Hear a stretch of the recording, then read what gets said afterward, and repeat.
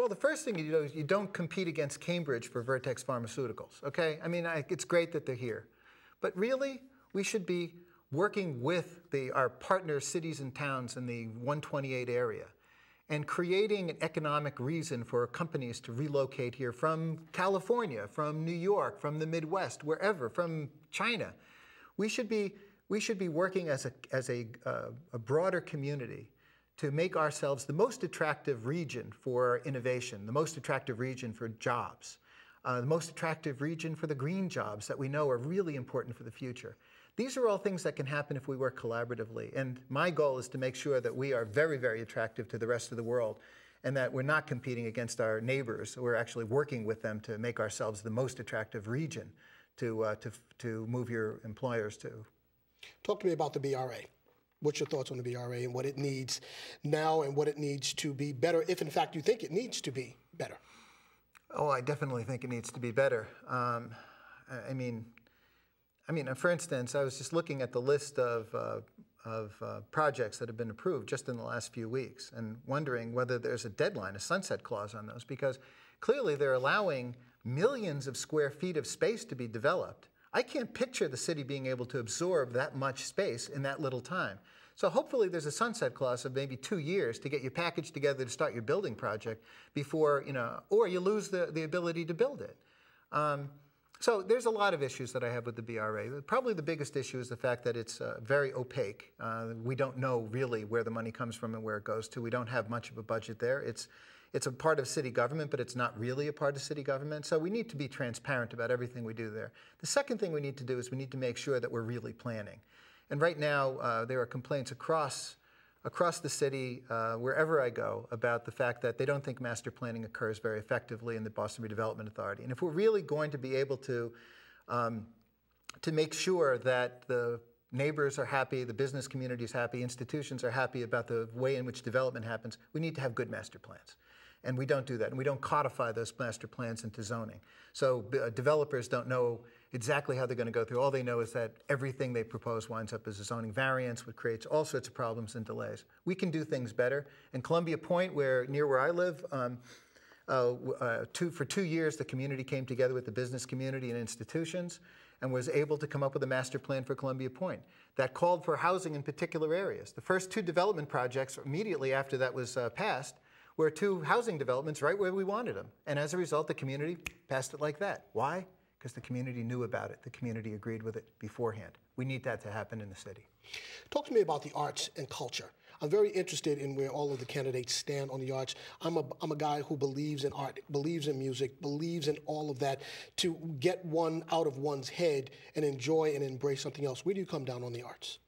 Oh, total supporter of it. Uh, but let me tell you about career academies. When I mentioned earlier, I mentioned arts and music specifically. Because yes, what a wonderful career to have in the arts and music.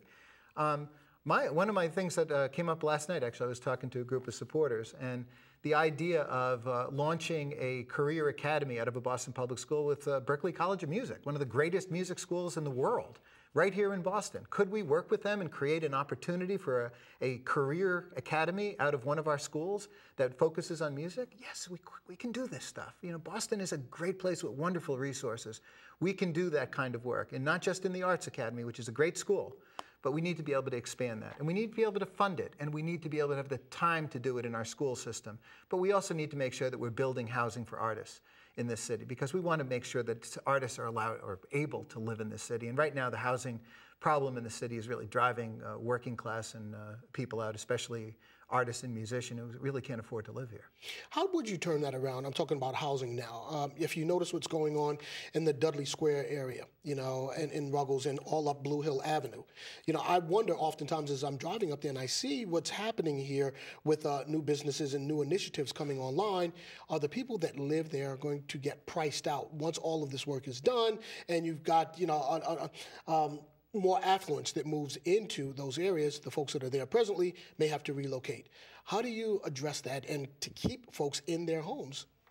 Well, one of the things that we've found is that when the real estate values go up, people that own homes uh, oftentimes, you know, see it as a ticket to, you know, to Nirvana land, you know, to some other place they always wanted to live, and they sell their house for a high price, and of course that just boosts up the, the cost of the condo that ultimately winds up there. We've seen that happen in, in Dorchester, in Roxbury. We've seen it happen all across the city. Uh, I'm worried very much about that, and what I think needs to happen is we need to have better linkage arrangements, arrangements with the, the downtown uh, million dollar condos that are being built all over in the former combat zone, in the waterfront area in South Boston, you know, million dollar condos. We need to make sure that we're getting the dollars necessary out of in linkage to be able to build affordable housing. And I support the idea of transit oriented development. I believe that we can have more dense uh, development of housing near public transit lines, whether it's big bus stations, train stations, commuter rail stations. We need to build a lot of housing in order to put the lid on the real estate prices. And the governor thinks it's 17,000 units a year.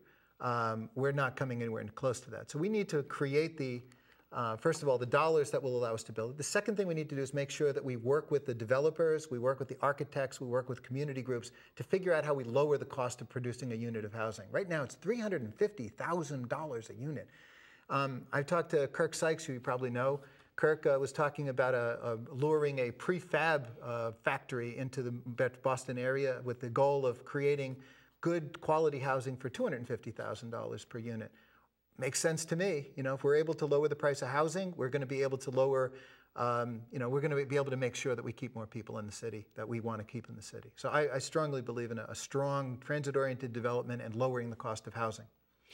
Listen, we've only got a couple of minutes left. What I'd like you to do is to look in the camera, and I'd like you to talk to the folks at home or wherever they may be, um, and talk to them about why they should seriously consider giving you their vote to become the next mayor of Boston.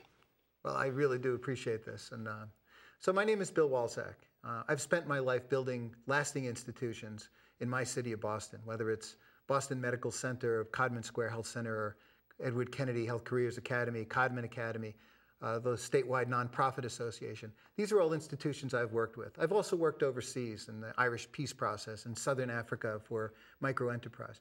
I have a broad experience in building things, growing things, and protecting the dollars that are necessary to make sure that the city of Boston is able to work well. I'm the only person that uh, won't have to learn on the job.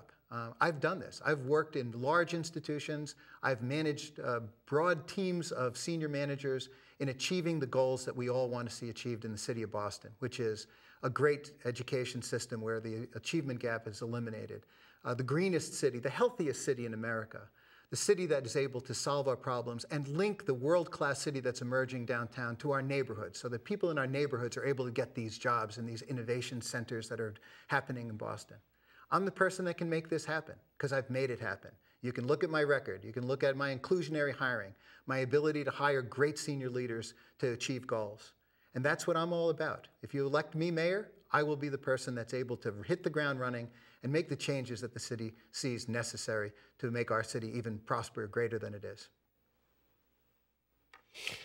Bill, I want to thank you for coming on. Sure. I really appreciate it. We wish you Godspeed out there on the trail. You've got two long, hot months ahead of you. God help uh, me. September 24th is the primary. Yeah. Uh, November, is it 8th, 6th is the first or second Tuesday in November is the yeah. general. Yeah. So good luck to you. Hey, thank, thank you, you so very much. much for coming on. Pleasure to be here. And uh, down the road, I'd like to have you come back and just, you know, give us an update as to where everything is going. I'd be happy to do that. Okay, folks, so uh, that was Bill Walczak, candidate for the next mayor of Boston. We're going to go to a break, and on the other side, we're going to have Felix Arroyo here and he's going to talk to us about why you should consider giving him your vote for mayor of Boston. Please do stay tuned.